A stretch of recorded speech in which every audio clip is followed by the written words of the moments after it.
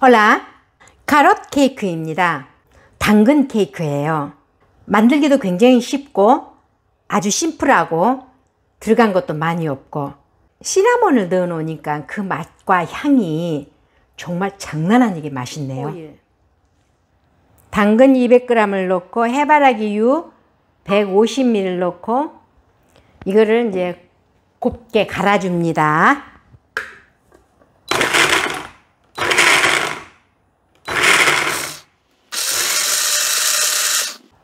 여기다 계란 3개를 넣고 같이 갈아줍니다. 일반 밀가루 200g에다가 베이킹 파우더 두 티스푼을 넣어주세요. 좀 이렇게 넉넉하게 넣어주세요. 티스푼을. 시나몬 가루, 계피가루가 되겠죠? 이것도 이렇게 좀 넉넉하게 두 티스푼을 넣어주세요.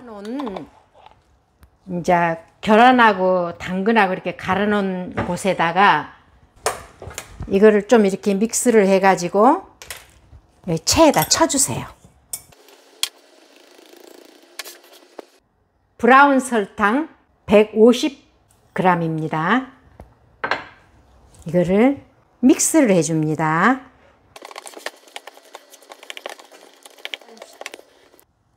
빵틀에다 기름종이를 한개 깔으시고 버터로 살짝 이렇게 옆에 코팅만 해주십니다.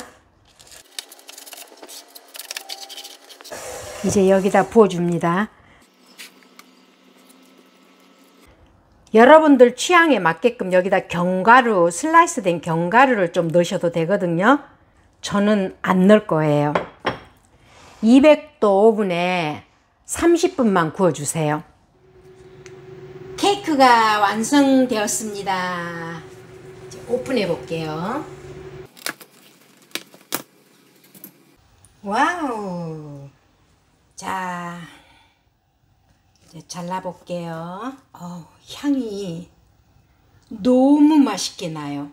시나몬까지 넣어 놓으니까 그 향이 정말로 맛있게 나요.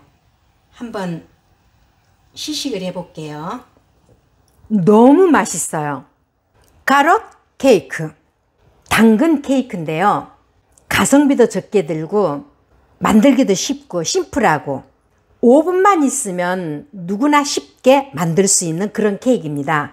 이 케이크 한 조각하고 커피하고 드시면 정말로 맛있을 것 같아요.